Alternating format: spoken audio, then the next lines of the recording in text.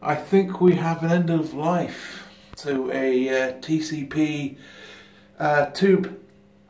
Yet again, it was used quite a lot um, in here to begin with before I slammed it into a lamp um, on the landing. So, very interesting. Um, I would have thought it would have burn marks before it decides to flash like this, but there you go, look, it doesn't matter what I do, and that noise, by the way, is the buffer, but if you turn it off right here, and then turn it back on, it tries to start up. So I think it's dead. Um, I'll leave it for a while and see what happens. And if it starts back up, I will um, name this video a strange startup because yesterday it was doing this for a long time and then it eventually striked up. It's really strange. Hmm. But listen to it.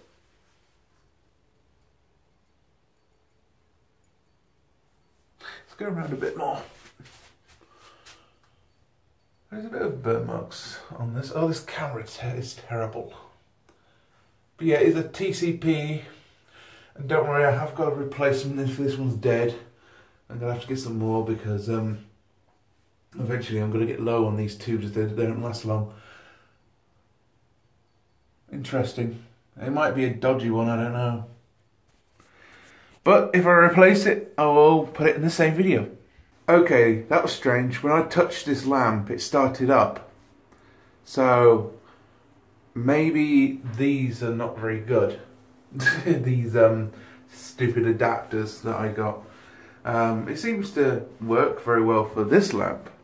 But this one, I don't know, it's just weird. I don't know, maybe the pins are a bit bent and it's trying to start up. I don't know, don't explain. But uh, it's not end of life because you can see there is some, you can't see a thing, sorry.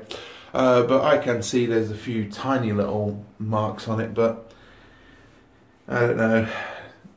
Maybe these adapters are not so great. And not to forget, um, I don't know why, but apparently according to uh, Big Clive, on YouTube you need an actual metal strip for certain lamps like this, and really I can't be bothered to put it in a metal lamp, so I don't know, maybe I have to touch this one to switch it on now. Great. But it was not, it was very interesting how that, that did that. Uh, it looked like it was going to start up at one point, you know, because it was going down the tube, the light, um, when it was starting to flash. Oh, that was interesting.